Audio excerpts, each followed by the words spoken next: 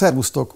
Ungvári Krisztián vagyok, és most új szellemi gyermekemről, a nemrég megjelent Mincenti kötetemről fogok beszélni. Én is nemrég kaptam meg ezeket a köteteket, ami egy hosszas munka végére tett pontot.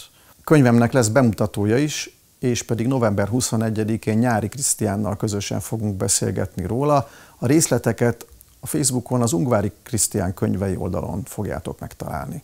Mielőtt azonban erről a könyvről beszélnék, eh, néhány személyes dolgot is el szeretnék mondani. Mindszinti ugyanis számomra nagyon sokáig egy fontos, pozitív személyiség volt. Eleve vallásos nevelést kaptam, 16 éves koromtól pedig magamtól kezdtem templomba járni, aztán ismét, mert ezt korábban a szüleim nem tették kötelezővé, és egészen sokáig tartott az a korszak az életemben, amikor minden héten rendszeresen jártam templomba.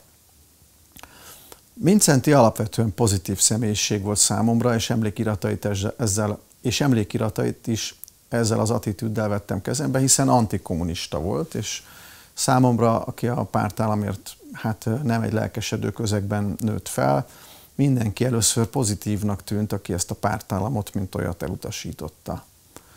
Azonban a Vincenti szöveg már rögtön az elején felvetett bennem kérdéseket, és aztán az utóbbi egy-két évtizedben, amikor a Vincenti kultusz egyre vadabb és vadabb hajtásokat öltött, hát egyre inkább elgondolkodtam azon, hogy jól van ez így? És igazából három évvel ezelőtt kezdtem el ezzel az egész kérdéskörrel foglalkozni, és ennek az eredménye lett ez a kötet, ami természetesen nem pótol egy komplett Vincent életrajzot, ezt Balog Margitnak köszönhetően egyébként bárkinek rendelkezésre áll, hanem megpróbálja problémaorientált módon, pontokba szedve végignézni azt, hogy mi az, ami ennek a személynek a működésébe rendkívül problematikus. És ez azért is fontos, mert Mincenti Józsefet a Nemzeti Együttműködés rendszerének emlékezett politikája egészen a csúcsra helyezte. Külön múzeumot adott neki, és Orbán Viktor múzeumi megnyitó beszédében Deák Ferenc és eh, Széchenyi István mellé helyezte Mincenti József személyét. Az alábbiakban két dologgal szeretnék foglalkozni, ami kis részlet talán abból, amit ez a könyv is tartalmaz. Az egyik Vincent József úgynevezett legitimizmusa.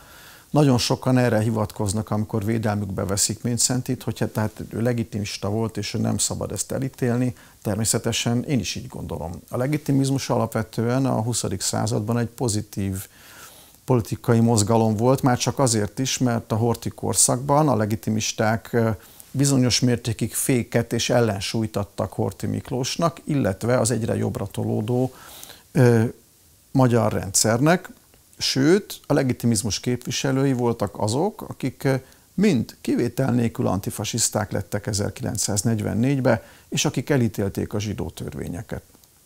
Vincenti József azonban valójában nem volt legitimista.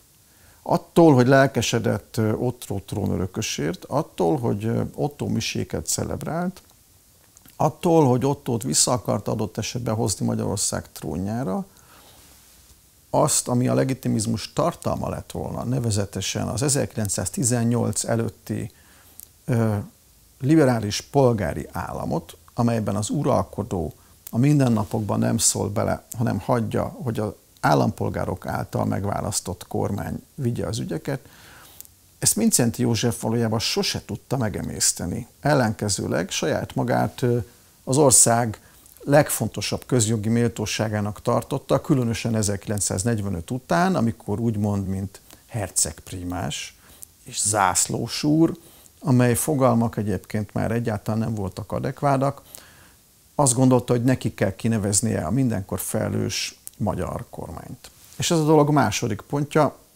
ahol egy sajátos jubileumhoz is érkezünk, nevezetesen november 3-ához, a mai naphoz.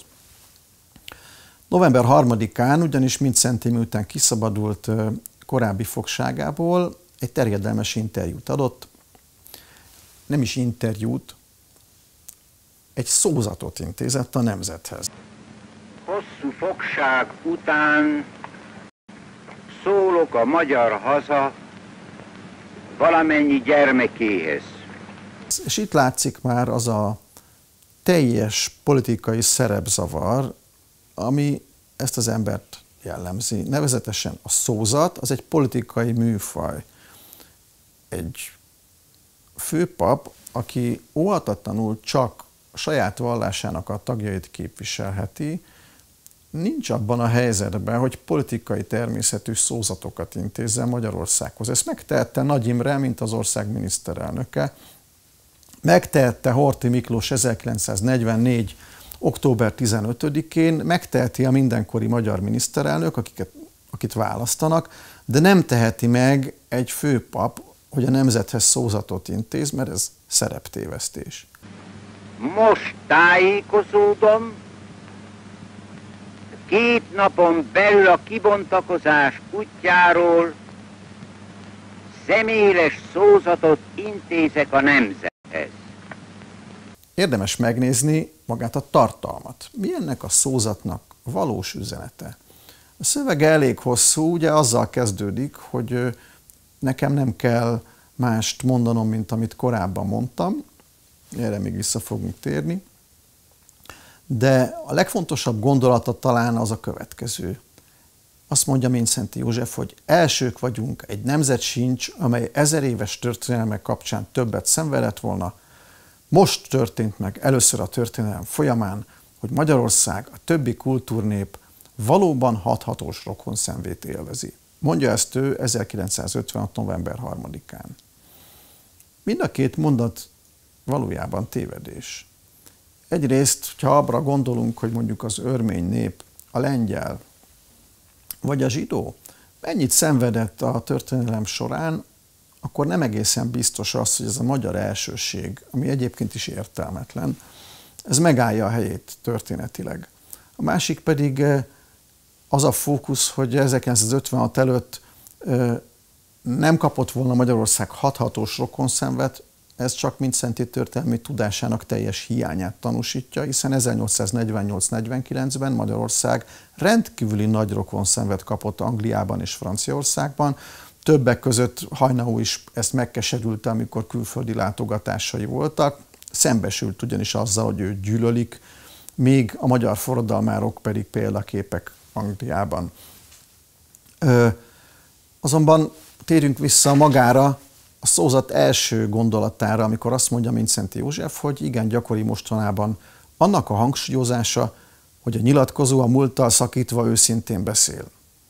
Én ezt így nem mondhatom, nem kell szakítanom múltammal, mondta Mincenti József. És ezek után ö, a következőkről beszélt.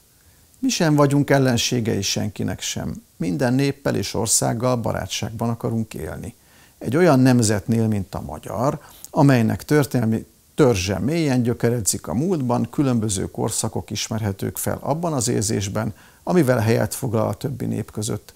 Fordulatairól, árnyalatairól is el lehet olvasni fejlődésének jegyeit. Korunkban azonban általános jellemző, hogy minden népnél egy irány felé halad a fejlődés. A régi nacionalizmusokat mindenütt át kell értékelni. A nemzeti érzés ne legyen több harcok forrása, az országok közt, hanem az igazság fundamentumán, a békés együttélésen alapuljon. Nemzeti érzés virágozzék az egész világon a népek közös kincseit képező kultúrértékek területén, így az egyik ország haladása a másikat is előre viszi. Természetszerű okoknál fogva fizikai életfeltételeik szerint is mind jobban egymásra utaltak a népek. Mi magyarok, az európai népek családi, bensőséges békéjének zászlóvivőjeként akarunk élni és cselekedni. Nos, ez a szöveg nagyon szépen hangzik, de Mincenti József ezt nem így gondolta, sem ezt megelőzően, sem ezt követően.